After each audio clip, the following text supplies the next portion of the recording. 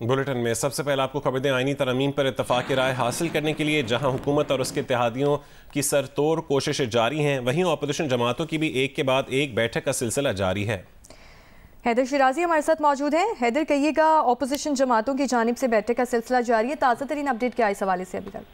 देखिए इस वक्त मौलाना फजल रहमान की रहाइश घर पर पाकिस्तान तहरीक इंसाफ का वफ्त यहाँ पहुँचा है और इससे कबल पाकिस्तान तहरीक इंसाफ के वफ्त के साथ गुजशत शब इसाक डार ने, नवीद कमर ने और बिलावल भुट्टो जरदारी ने यह कहा था कि आप बानी पीटीए से मुशावरत के लिए पाँच रुकने वफ्त के साथ अडयाला जेल जाएँ।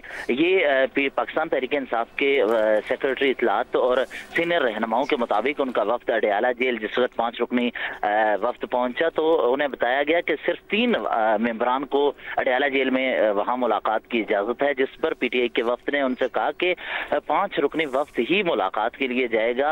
अब चूँकि सिर्फ़ तीन मेम्बरान को इजाज़त दी जा रही थी, जिस पर पीटीआई की क्यादत ने उस मुलाकात करने के बजाय वापस मौलाना फजल रहमान के तरफ़ आए हैं और मौलाना फजल रहमान से इस हवाले से मुशावरत की जा रही है।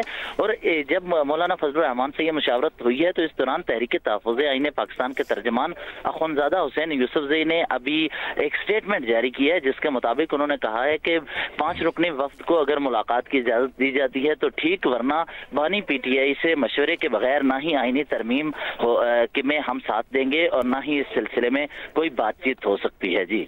ठीक है, बहुत शुक्रिया हैदर शराजी। में बता रहे थे कि पाकिस्तान तहरीक इंसाफ का वफ्त मौलाना फजलरहमान की रहायशगाह पहुँच चुका है।